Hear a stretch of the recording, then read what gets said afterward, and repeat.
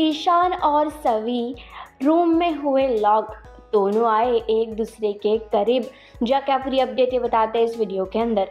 Well घूमे किसी के प्यार में क्या अपकमिंग एपिसोड में हम देखने वाले कि किस तरीके से अब ईशान ने सभी के लिए हॉस्टल में रूम अलॉट कर दी है। जी हाँ पर उस रूम का जो लॉक है वो ख़राब है।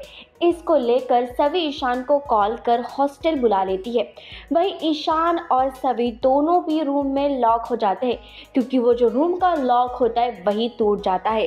वही दोनों भी अब रूम में लॉक हो चुके हैं और उसी वक्त रूम में चूहा आ जाता है और ईशान चूहों से डरता है। जब ये बात सभी को पता चलती है, वो काफ़ी हंस उठती है। वही उन दोनों में हमें काफ़ी ज़्यादा रोमांस भी देखने मिलने वाला है। दोनों एक दूसरे के करीब आते हैं। सभी ईशान को गिरने से पकड़ लेती है। मतलब देखना दिलचस्प होने वाला है कि क्या यही इन दोनों के प्यार की शुरुआत होने वाली है। पहले, आपको इस पूरी अपडेट पर क्या कहना है, हमें कमेंट्स कर ज़रूर बताइए। और टेलीविज़न से जुड़े सभी लेटेस्ट अपडेट के लिए सब्सक्राइब करना ना भूलें।